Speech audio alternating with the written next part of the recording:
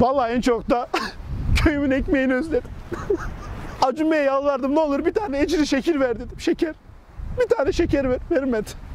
Selamünaleyküm ve rahmetullah. Selamünaleyküm ve rahmetullah. Bireyselsin, çok bireyselsin. Her şeyi de sen istiyorsun. Ben imam olmak Ulan namazda bile bıdı bıdı bıdı bıdı bıdı konuşuyorsun. İşte namazdayız. Namazdayız şurada. Seni yazacağım ben. Senden nefret ediyorum. Senden nefret ediyorum.